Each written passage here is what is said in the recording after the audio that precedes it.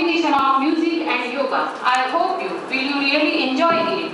Thanks and have a nice day. We will start it from Ganesh Vandana.